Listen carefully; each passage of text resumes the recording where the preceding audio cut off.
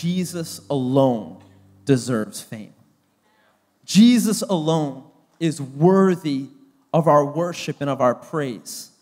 And it's amazing when we worship like this every Sunday.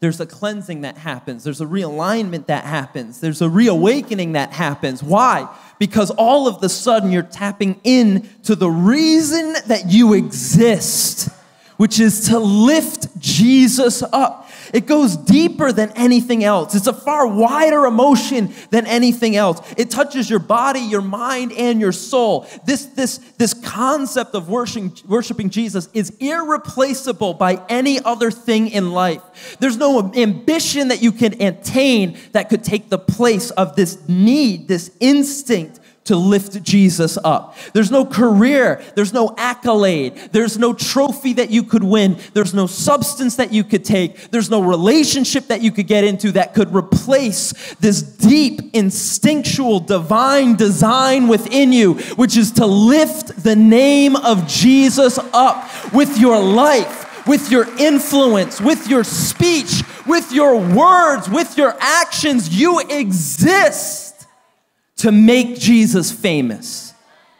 You breathe and live to make Jesus famous. And so many of us, we're searching for our meaning in life, our purpose, our reason for existence. The Christians call it our calling. We're searching for this thing, but can I tell you, it is found not in self, but in Savior.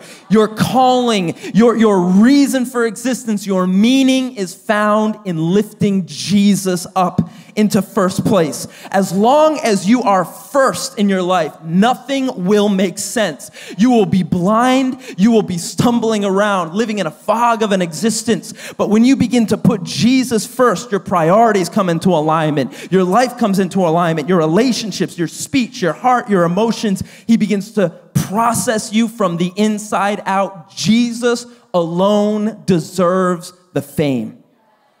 And we exist to make Jesus famous. This is why we've been put on planet Earth. When you meet Jesus, you figure out where you are positionally in life. He is the sun and you are only the moon. You are not the source of light. You exist to reflect the light into a dark place and a dark night. You are a converter of the light, but He is the source. He is the center. He is the magnificence. Jesus says, if you're searching for God, you found it with me. I am the light of the world. And we exist only to extend that light to people who desperately need that light. Jesus alone deserves the fame. Read the scriptures. Every time an angelic being, a supernatural being, appeared to someone in the Old Testament or the New Testament, every time that they appeared, the person would fall down on their face in reverential fear and begin to worship that angel. But every single time the angel said, Absolutely not, get up right now, because I am only the messenger. He is God. He alone is worthy of your worship. Though the angels seem to be above us, they do not deserve our worship. They are only supernatural servants, much like you and I. Jesus is not just an angelic being, He's not a guru, a philosopher, or a teacher. He is more than that. He is God Himself. And He deserves your adoration.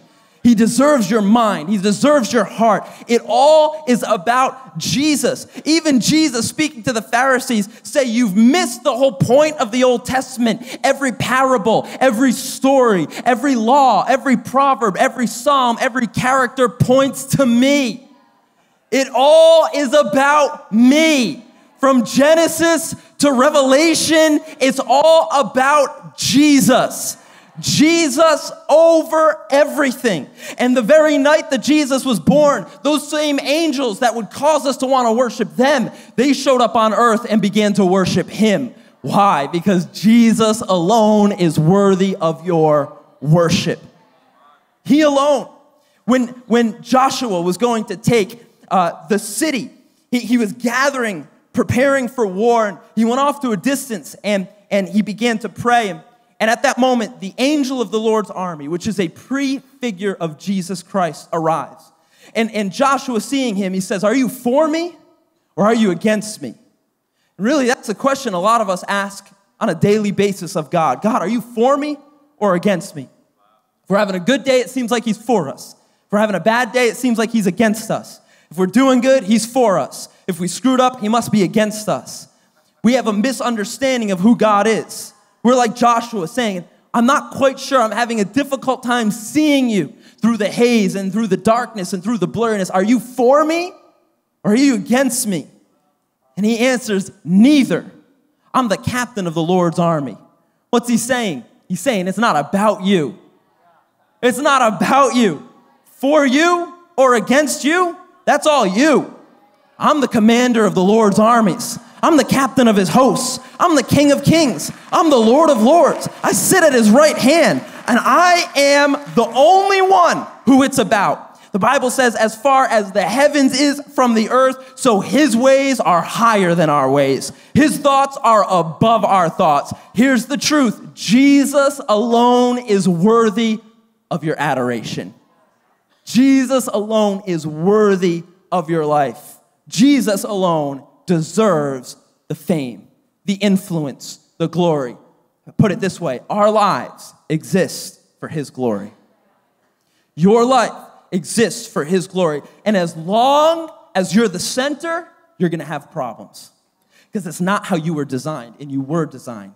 You were created with a purpose and a likeness like God. You were designed for worship, and you were not designed to worship others, designed to worship culture, designed to worship fame, designed to worship celebrity, designed to worship society, and certainly you were not desi- designed to worship self, but you were designed to worship.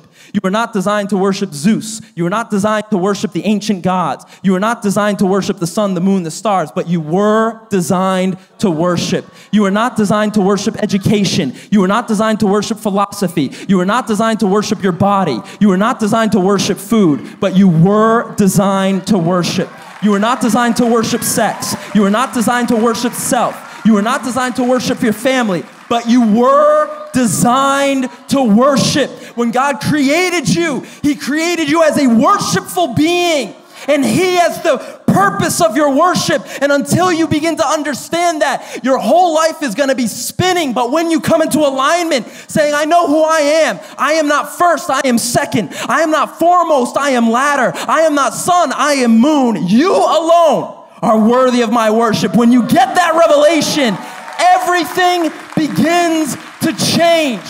God builds a movement on that revelation. Jesus says, I'll build my church. Sometimes as preachers, we can say, I'll make it happen. Jesus says, No thanks. I'll make it happen. You get to help because you were designed to worship, but I am the one that's worthy of worship.